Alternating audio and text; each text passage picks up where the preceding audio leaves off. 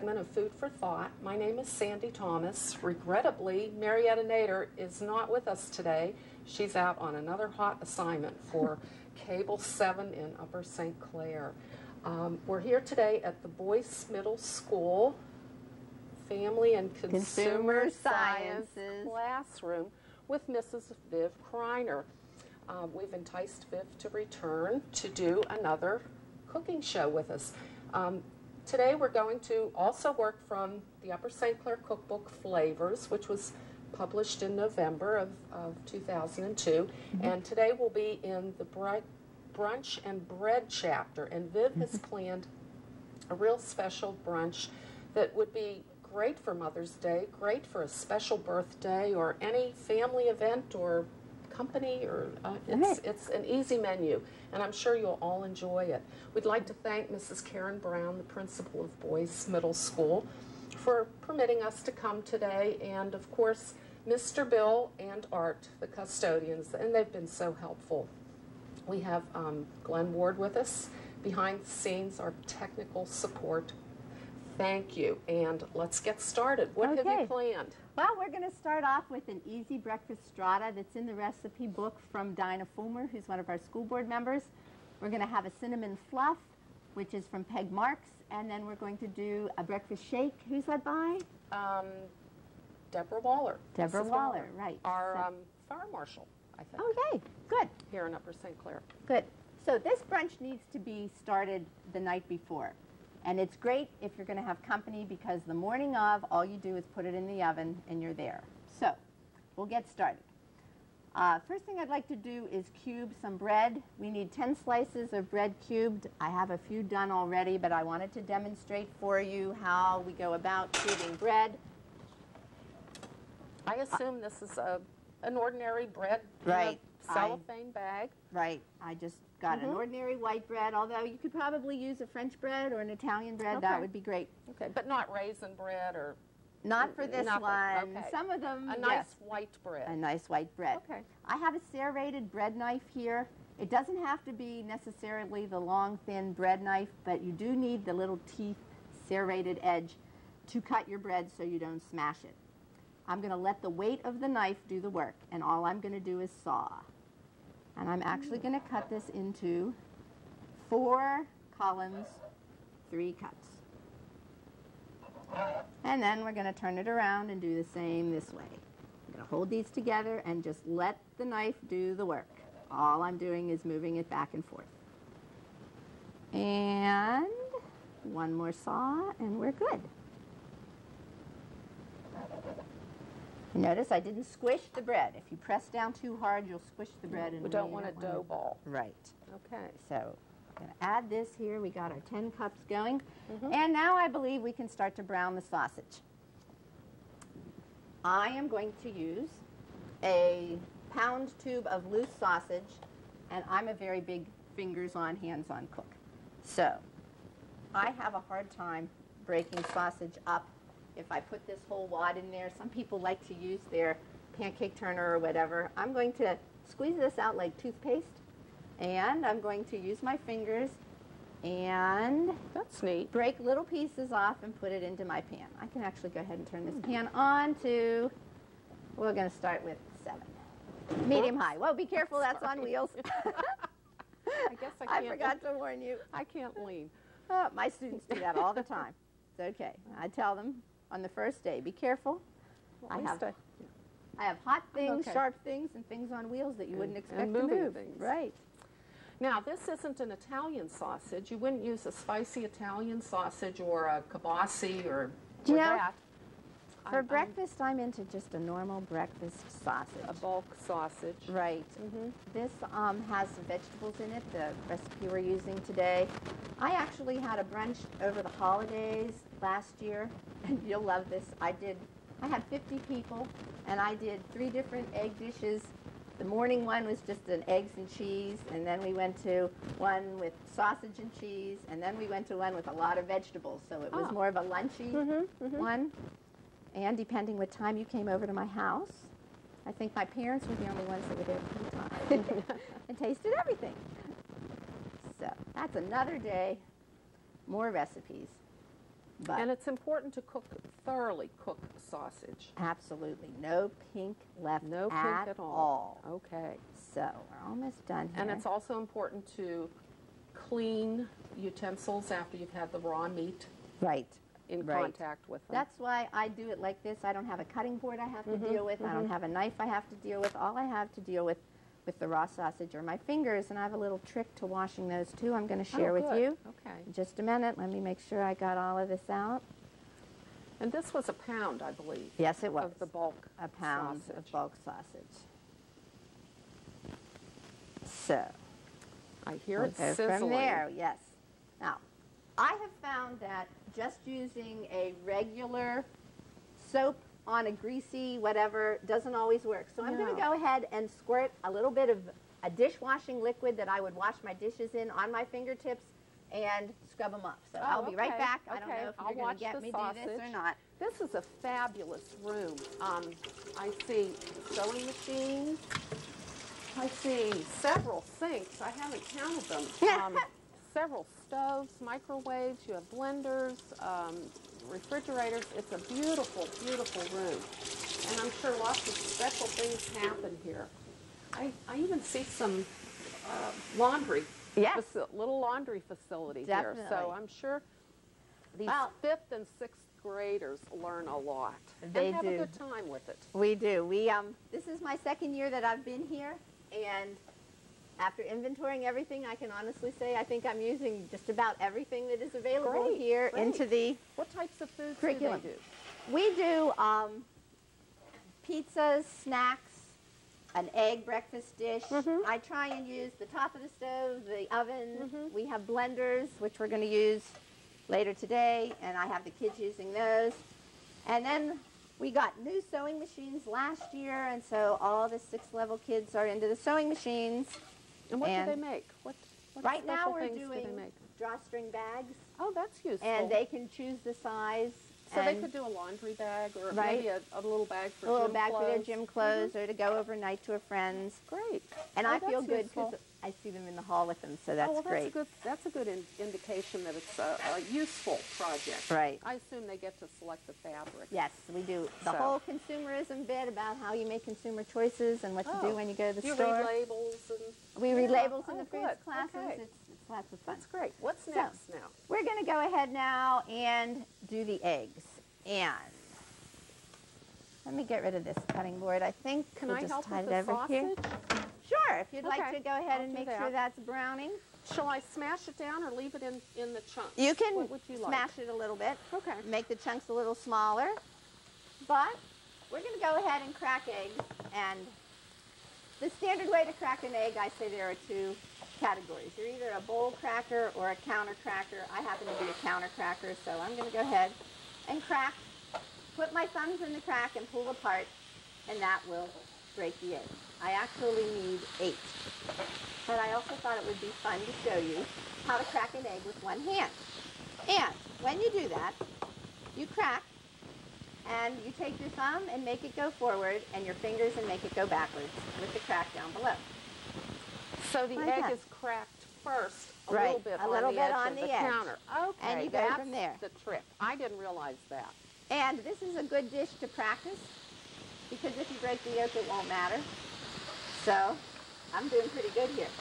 But Sandy, I understand you have another way to crack I have. an I egg. learned. I learned another way from Cindy Scott. Do you wanna show? She, okay. She, for lots of eggs, Cindy takes two eggs, knocks them together. Go for it. Only one will crack. The other one does not. And then, of course, you can break the egg open And go from there. and then keep working with your other eggs. So, Should I try that I'm on gonna- TV? go ahead, give it a try. I bet only Okay. one egg will crack. Okay. Unless, of course, Viv, if you go ba-boom, Well, you never we'll know. have a mess. But My I'm gonna, I'm gonna rinse my hands. Go Wash ahead. my hands. Excuse me. I'm not rinsing until I'm done. I All had right. raw egg on them. Now, I've never done this before, so take this. I'm going to go like this. It worked. It did. So then I can just go like this. Now, see, the advantage of doing it this way is she's not dripping anywhere.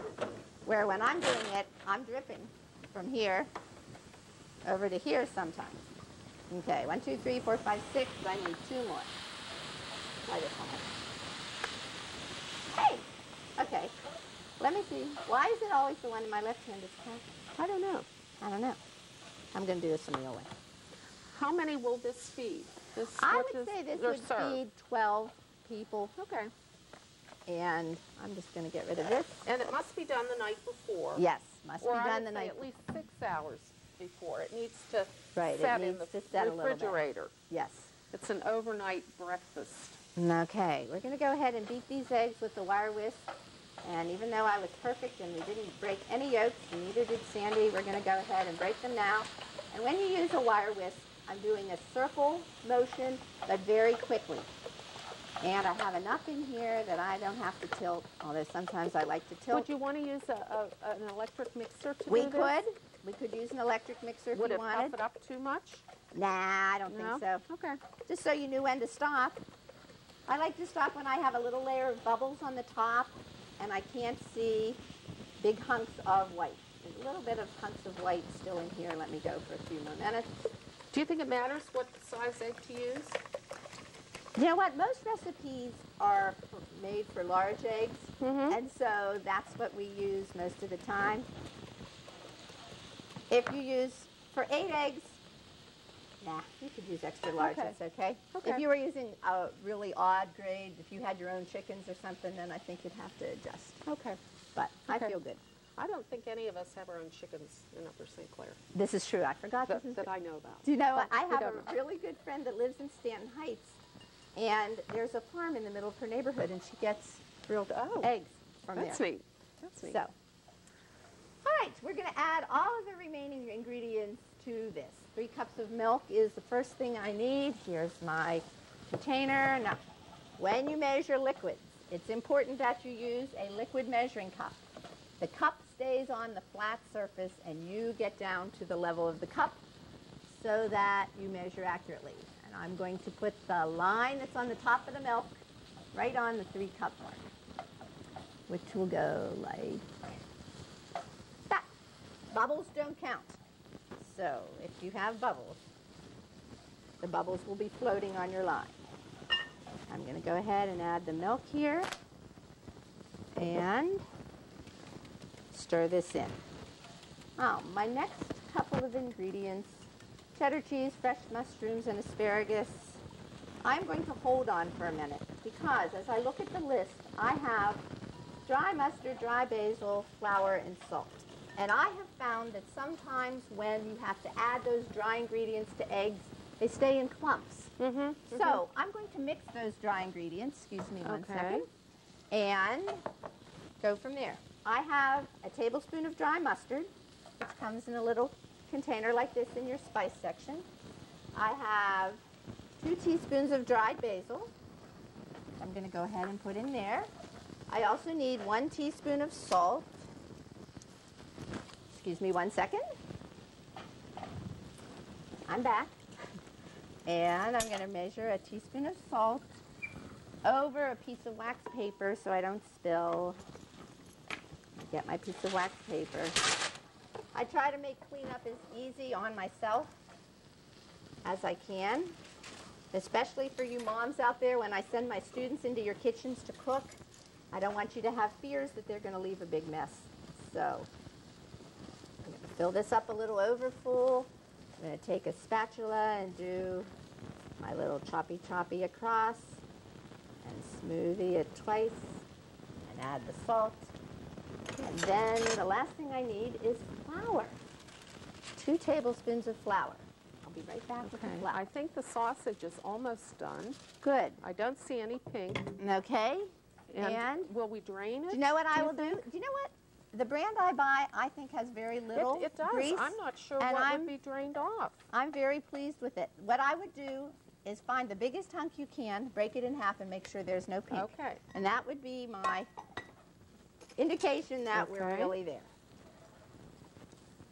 All right. So while you're checking that out, I'm going to go ahead and do pretty good. my two tablespoons of flour. Notice I'm just going to stir the flour up so it's nice and light and fill it up over full, choppy choppy, and smoothie twice. It's almost a rhyme. I know. It's easy to remember. That's why I do it, so that my students will remember. I bet we're going to have some great cooks in the future in Upper St. Clair. I think so. And I'm going to go ahead A and stir all these dry ingredients together. Well, you know, my theory on cooking, and actually and everything that I teach, is maybe some people will use it as their career, and maybe some people will use it just as a hobby.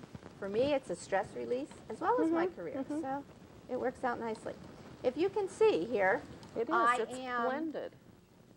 Yeah, blending it together, and I'm using the back of the spoon, especially the dry mustard. It tends to kind of smash together. Now, did this call for sifted flour? No, Then it did not. I, I, I have learned that if the recipe says one cup of sifted flour, then you sift the flour. Mm-hmm. If the recipe should say one cup of flour, then just put in one cup of flour without sifting it. Right. And, and hopefully when recipes are written that, that, uh, that important feature Right. is, is included. That's where the word sifted is in the mm-hmm. directions is really mm-hmm. important. Okay, I'm going to go ahead now and add all these dry things and whisk them away until the powder is not floating on top anymore. I want to say, hey Glenn, am I standing okay? Is this working out? Good. He says good. We're good. Great, and we seem to be pretty much Okay. And I'm sure the Putting in there. sausage is done. I Okay.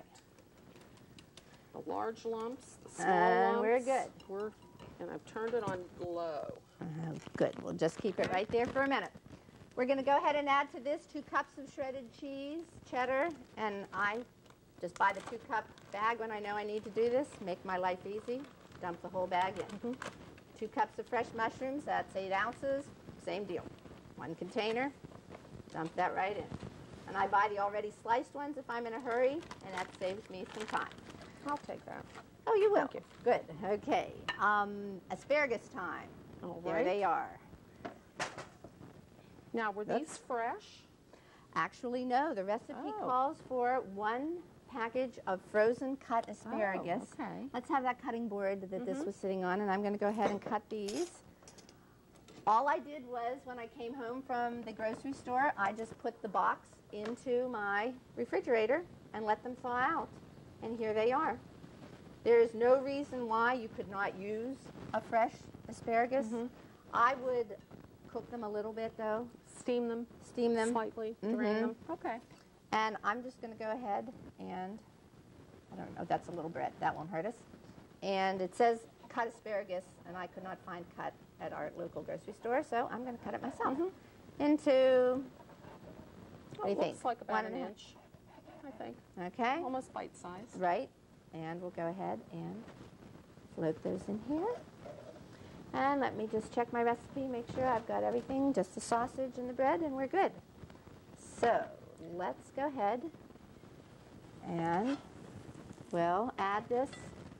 If you found there was a lot of grease in your sausage, I would drain it on a paper towel and press it and get any of the grease out that we needed to. I'm impressed. This has such a small amount of grease. I don't even think there's a Yeah. teaspoon there.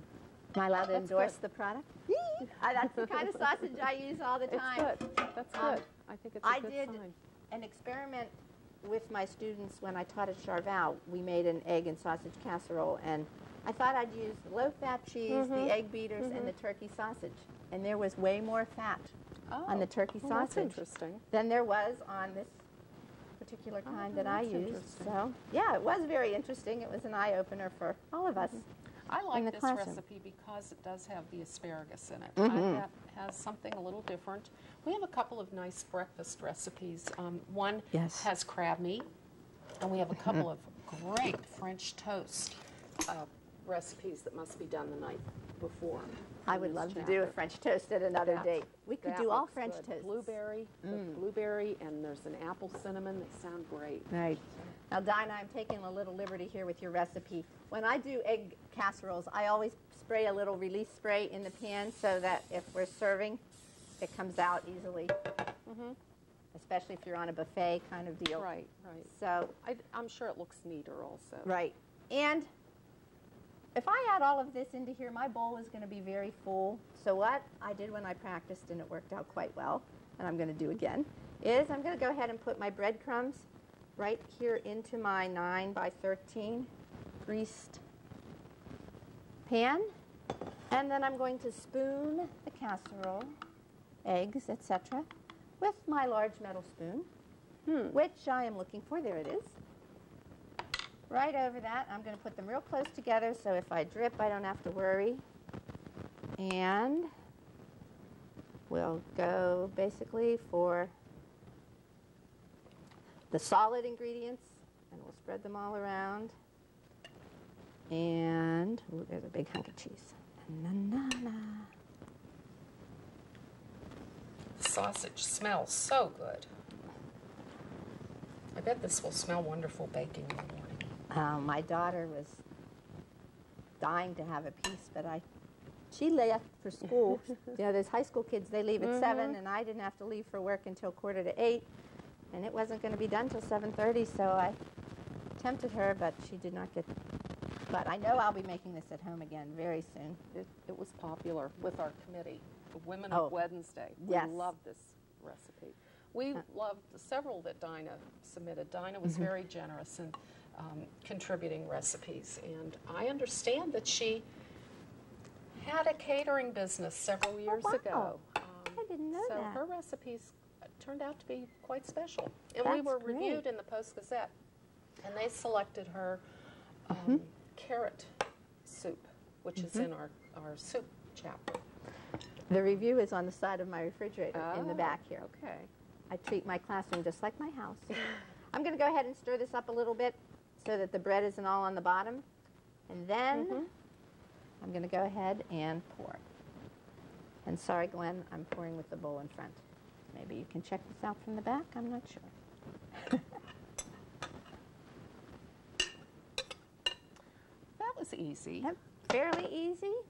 And yep, we're looking good. Now, what you do with this is you cover it up and leave it in your refrigerator overnight. And the next morning, turn your oven on to 350 and let it bake for between an hour and 70 minutes.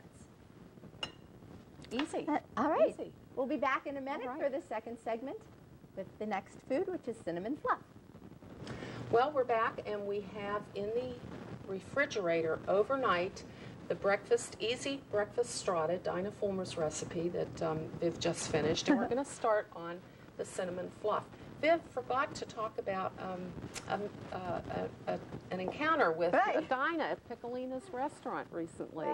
Actually, it was um, the night of the play when we were going to the high school play, Les Mis, and I was having dinner there and had been perusing the cookbook trying to figure out what I was going to make for brunch.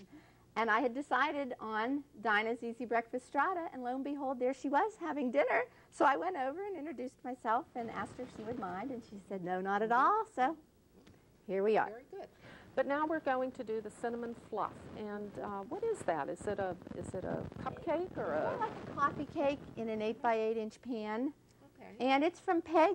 Peg Uh, Marks. Talk about Peg. And Peg is um, the grandmother of Greg and um, Brian. Greg's in 11th grade, and Brian is in 8th grade here in Upper St. Yay. Clair. And they, um, I don't think Peg lives in Upper St. Clair, but she was kind enough to donate a recipe. That's great. To, to our cookbook, and it's turned out to be a very special recipe. And I believe it was her grandmother's wow. from down south, um, growing up in the south, as, as I remember correctly. So I'll be anxious to try it. Good. Oh, what I'm doing here is I'm going to measure the first ingredient, which is the two cups of flour. I have a special two cup dry measuring cup that I bought for myself at Williams Sonoma, Oh. and I absolutely love it. Do you have one of these No, yet? I don't. Oh, A So dry anytime measure for two for cups. two cups. It And saves time. Absolutely. And I've filled it up over full using a spoon. Remember, never scoop flour because you're going to put too much flour in there. You always want to spoon it in. And I'm going to choppy choppy across to get any little air pockets out of there. And then I'm going to smoothie it twice. And I'm going to go ahead and add im- that to my bowl. important to keep these dry ingredients in a glass container, or, or is it okay to keep them in the bag they came in? Do you know what? I What do have you think? some my canisters at home are smaller, and so I have mine in the bag, in a plastic grocery store bag, tied, because I go Ah. through them quite Uh-huh, often. uh-huh. So I don't feel the need. Some people refrigerate their flowers, Right, right. and that's okay to keep too. the little bugs out. Buggies, right. Yes. Right. Okay, the first six ingredients, the directions say I need to sift these first six. Two cups of flour, two teaspoons of baking powder, which remember the baking powder is the leavening agent in the can and not in the box. I'm going to go ahead and add that here. The half a teaspoon of salt. Ching, I'm feeling like Emeril. Mm. um, a cup of sugar, which I did spoon in choppy smoothie just like I did the flour. And this is white granulated sugar. Right. It said you could use brown if you wanted, but I thought the white would be better in the cake because I'm going to put the brown as the Okay. topping, and that will be Okay. good. A teaspoon of nutmeg and a teaspoon of cinnamon. One, two, three, four, five, six. We got them all in here. Now, Peg's recipe says we're going to sift this, but I'm going to be very honest, and it's just coffee cake, and I don't feel the urge to sift. So I'm just going to combine all these ingredients, and that part is really important. When my husband cooks, which is very rare, he never combines, and when I get the pancake from him, I get the one with all the baking powder or the baking Oh, soda in it one, in one one spoonful. Mm-hmm. one spoonful, and it's pretty nasty. See how you can still see the dark brown streaks Mhm, of the cinnamon and nutmeg? I'm going to take some time here and really stir this up so that I don't see and of course, any if more you had streaks. sifted this, that Right. might have made this Right. a little different. Yes, it would have. But rather than go through the aggravation, I'm going to stir. And I'm fluffing it together, lightly letting air in. Sometimes when I have an electric mixer and it says to sift, I put the dry ingredients on and turn the mixer on a little bit and mm-hmm. left, let it sift. But here's the word about sifting. If the ingredient says two cups sifted flour, you need to sift the flour and then measure. If it says two Ah. cups flour sifted, that's what I'm doing here. Okay. And that it says Okay. here two cups of flour, which I have the right amount in. So take it literally. Right. Right. A good, a well-written recipe Yes. will will be specific. I demonstrate to my students what happens when you sift and then I condense the flour back down Mm-hmm, because you're adding air to it whenever you're sifting it. Mm. But here we're just combining it up. So And you've made a well. I've made a well, yes. This is an old, old, I'm dating myself here, and you knew what it was, so you're right there with me. Um, it's a method of mix, making a quick bread, and I'm making a little well in the middle, and I'm going to put my liquid ingredients in there. Oh, no, I forgot. Whoops. I have to blend in my shortening. Two tablespoons of shortening, and I'm going is to... this, um, we'll- we'll use a, a label, a, a brand label, a Crisco or This- this is- or Right, um, right. a It's- solid. You wouldn't use a vegetable oil. No, not here. Would you use margarine or butter if it said shortening? Um, you could. I would go there way before I would go with the oil. Okay, okay. That would work too.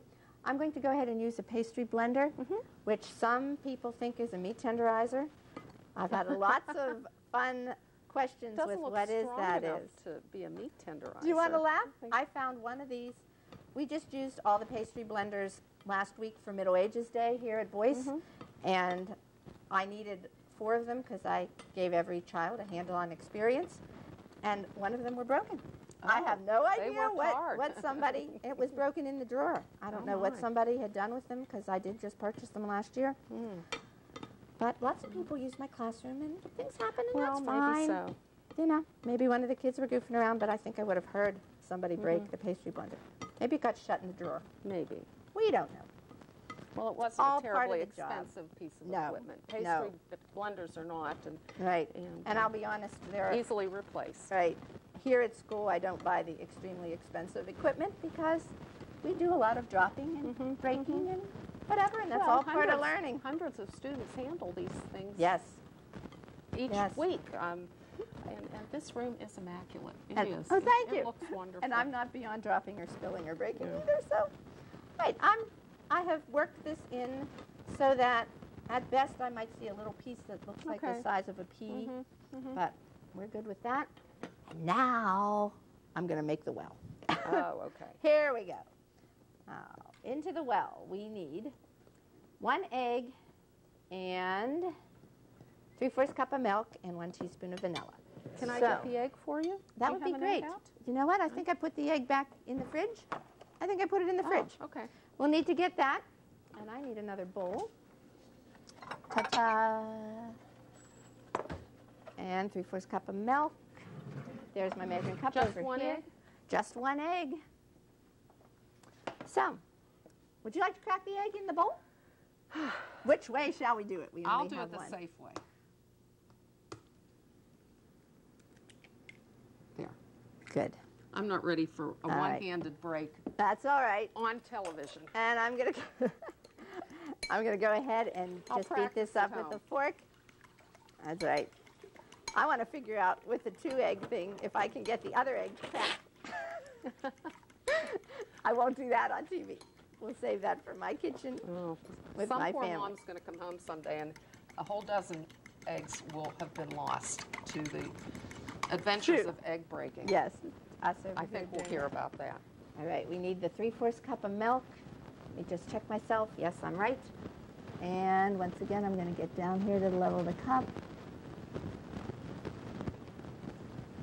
And bing, we're And good. The whole milk you're using? Yes, I'm using whole milk, but I'll what be would honest, happen? What would happen if you use skim milk? nothing. Okay. When I practiced at home, Mhm. I, uh, I drink skim milk at home all the time. So, It would work. yes, Okay. I bought this just for us for today. Oh, okay. And we need one teaspoon of vanilla. Now, a little trick with measuring liquids. Never measure over your intended bowl because if you mess up, you won't know how much you really have Mhm. spilled in there. So I always get another container that I've used. This is going to work out just fine. And you hold the bottle that you need to measure in the hand you write with because you have much more control there. And I'm going to slowly pour my teaspoon in. Whoops, I spilled, but cleanup is You're not so bad. cautious. it's almost like a chemist. Maybe in my past, chemistry. it is kind of It is chemistry. chemistry. It's science, Yes. family and consumer That's sciences. right. All right. And I'm going to go ahead and I've beat those three ingredients together, the egg, the milk, and the vanilla. And you've made the well. And I've made the well and pour into the dry ingredients and mix well. My favorite thing to mix with is a wooden spoon. All right. So, like this big one? anyone you'd like is fine. I'm going to go ahead and just stir and mix this in. Now, the, the oven needs to be preheated Yes, to 350 degrees. All right. And Oh, I see. ready to go. You all Okay. right? Bake. Oh, this is, yeah, mm-hmm. press the bake button and arrow. It should come up to 350. Okay. Press bake again so it clicks. We're good, yeah. Pop. There, There we we go. are. Hit bake Very again. good. Hit bake again and it'll come on. And I'll check to make sure nothing is in there. Okay. Okay, It looks good. okay. And I'm going to scrape here along the edges and get all of this nice floury mixture incorporated without beating too hard because I don't want this to get tough. Very good. When I scrape at the bottom, I don't see if there's a little bit of flour there. I need to do a little more stirring. Mmm. Doesn't it smell I wonderful? a few little lumps. Lumps are that's good. okay. Lumps are good. All right. All right, and we're supposed to pat this into an 8 by 8 greased cake dish. So here is my 8 by 8 And We can the spray, a little spray, Pam. That will work. greased, if that's okay. Right, my theory is, and when I have the illustration right underneath me here to show you, if you're going to cover the surface completely, then a spray release is okay. If you are not, give me one second here. What, what are you doing? Oh, yes. If you Mhm. make cookies and you are not going to cover it, yes. this is what happens to your pan. and- Oh. I have made this mistake with brand new pans once, and my partner, who was Debbie Furness, who was an Upper St. Clair Mhm. resident, moved away. She and I spent two hours getting all of the cookie sheets clean Oh. at our job when we work together. Mhm. So, my rule is, if you're going to cover it completely as we are now, go ahead and use the The spray. spray. If not, get the Crisco out and lightly grease it with the Crisco. Right, That's a, a very good tip. Right, and I have saved that one because I found it here when I came. I here. have a few pans at home that look like that. Right. Uh, we're going to get a rubber scraper and scrape the rest of this into my pan. In the meantime, Sandy, Yes. would you mind melting this Okay. little cup of butter right here? Right. It is A half a cup? third. It's a one third. A one cup. third? Mm-hmm. And wait, Okay. wait, wait. I'm going to Oh. ask you to cover it with a piece of wax Oh, paper all right. because you don't want to clean It my microwave, splatters. and neither No, do I. My gosh, you're so particular. I No. think that's wonderful. Well, actually, when you were talking about my room, I do have four complete kitchens here. And it's hard enough, whoops, hard enough to keep one kitchen clean, let alone four. So I pass all my little pet peeves along to everybody who comes in here. And one of those pet peeves is even dry my sink. but we're not going to go into cleaning today, Oh, so that's well, okay. I, No. those are good habits Yes. to learn. I hope I hope they continue them at, when they go home. I, Right. That would be nice to hear. All right, now this batter is a little thick. It's not going by itself to all the Mhm. corners. Mhm. So I'm going to go ahead and help it with my rubber scraper. I suppose we could use a glass pan like that. Yes, we could. That would be all right. That would be fine too. okay. I'm trying to think if I have glass ones here. I don't think I do. All right, and let me get all of this out of our way. Mhm. Good. Very good. And The butter's almost done, I think. that's good. The next step is to actually pour the melted butter right over the batter. And then we are going to sprinkle brown sugar. I'll be right back. Mhm. And cinnamon on top of that. Okay. And this is a light brown sugar. This is a light brown sugar, the breadcrumb in there. And I love to measure brown sugar. I have in my brown sugar a piece of bread to keep it soft. And if your brown sugar ever turns into a rock, you can save it by putting in a fresh piece of bread and then putting it in an airtight container and waiting about 48 hours. And the brown sugar will come back. Well, that's a good tip. So Yes. you wouldn't lose it. You won't don't lose have it. to throw it out. You just need time. I think I did a good job with melting the oh, butter Oh, you and the microwave oven Very good. And you can just go ahead and pour that right on top. All over. All over. It'll just kind of flow. Okay. Yep. No problem. Oh, it doesn't sink in. No, No. that kind of floats. Oh boy. Oh, I bet this is going to be Mhm. wonderful. Look at that. Looks great. Good. Now, I have filled my measuring cup over full. And I'm going to move you over here. Good. I don't have to do the choppy smoothie thing because I did pack this down. But I am going to just smoothie it, not Mhm. choppy it. Mm-hmm. And I tell my students the test is if it comes out like a sandcastle, Maintains its form. yes, Good we're job. in good shape.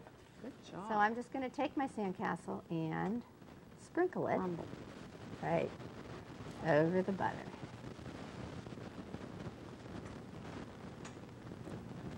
Na, na, na. Does that look great? Mm-hmm. Oh, and don't be good. afraid, you know, even if it starts to have some butter on the brown sugar, to move it around Mhm. and sprinkle it evenly. And then we just need to shake some cinnamon on top. My hands are really Okay. messy. Do you mind doing that? No, and I'll not run over all. and wash. Lightly or? I'll go a little Just- generous. Okay. I like cinnamon. I, I'll do my best. I'm sure it'll be fine. Oh, it looks wonderful. Good. This will smell good cooking. Baking. Yes. There we go. So we're going to pop that in the oven. And the recipe said 20 to 30 minutes. I'll be honest, it took 38 minutes for mine to be Okay. done. And to test it, you want to get a toothpick and poke the middle, and the toothpick needs to come out clean. Okay. So All we'll right. be right back then to make our final product, the All right. strawberry shake. The wake up shake. Good. We're back and it's tomorrow. It's I tomorrow. think the strata has come out of the oven. Yes. The cake has been baked. Yes. And now we're going to do a strawberry cheesecake wake up shake. And it's in the brunch and bread section. It's the first recipe, and it's Deborah Waller's recipe. And she has Kim in 11th grade this year Good. at the high school. And Deborah's the fire marshal, I believe, in Upper St. Clair. Oh, very nice. Um, but she also submitted a lot of recipes, and they've Right. been wonderful. She was very generous in contributing too. So we're anxious to check this out. Okay. It sounds good. Here we go. We're going to make this drink in a blender, and my philosophy is to keep the blender off the electric base until you're ready to blend. That way, if you miss and spill, you don't have to worry about wiping up all around all these little intricate buttons. So, this recipe calls for one half cup of cottage cheese right into the blender container. Did it matter whether it was small curd, large curd? I Um, think the curd part on cottage cheese is basically a texture preference. Okay. I like the small curd. Mm-hmm. I don't like the large Okay. curd in my mouth, but that's Okay. just me. Okay. And we're going to blend it all up, so I don't think It it'll make matter. that big of a difference. No. We need a half a cup of skim milk. Okay. I think that's a 2% milk, but that That's- might make it a little better. Right. Maybe we were trying to be diet conscious whenever we did the recipe. Yes, because we were using low fat cottage cheese Mhm. too.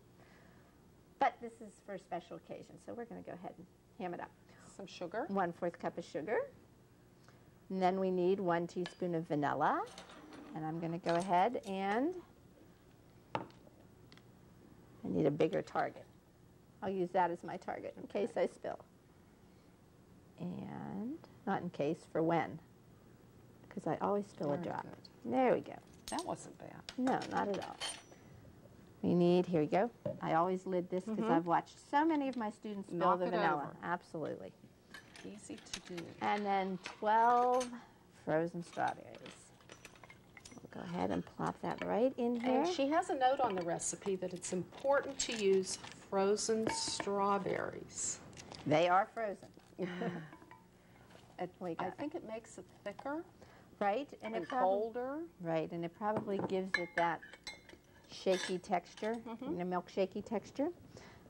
Okay, and it just says process. Place da da da in the blender process.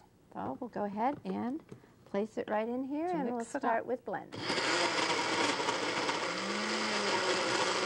we go.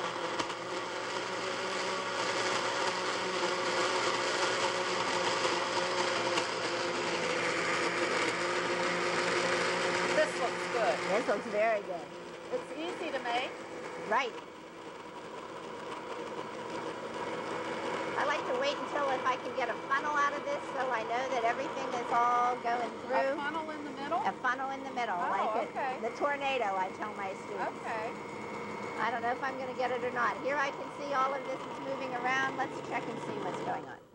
Let's stop and check and see what's going along. Oh, oh look. is that thick? Isn't that, That nice? does look like a milkshake. and it smells like a cheesecake. How wonderful. Oh, I think we're in good shape. neat. Yes. This is going to be a favorite. Right. Just a little note. There's also one teaspoon of toasted wheat germ or favorite cereal to put on top. I'm thinking that if this was your wake up shake and this was all you were going to do for breakfast, if you put the wheat mm-hmm. germ or cereal on it, you'd have your protein with your cottage cheese, your milk, your fruit, and it's a grab and go kind of breakfast. Right. Easy. So, An easy morning shake. right. So we'll be back in a minute to present our final brunch. Okay, let's All go right. for it. We're back, and we have um, assembled, I think, a lovely breakfast tray. Wouldn't this be terrific in the morning? Oh, I would be crying. I would be so happy. Well, we have a strata, some fruit garnish, cantaloupe and kiwi, and the uh, cinnamon fluff cake, the wake up shake, which is terrific. It is really special, garnished with a strawberry, a cup of tea or coffee, and, And? um, maybe a cookbook, Right. a flavors Something cookbook. to read. It's available at um, the school district central office, and Mrs. Kreiner has them here at Boyce. Right. $16.05. That's $15 plus tax. And we're ready. Yes. I just want to say you could take this if you wanted to have a brunch and have people go through a serving line and put the 9 by 13 casserole in a pretty basket or on a warming tray and arrange the little fluffs on a platter in special paper cups.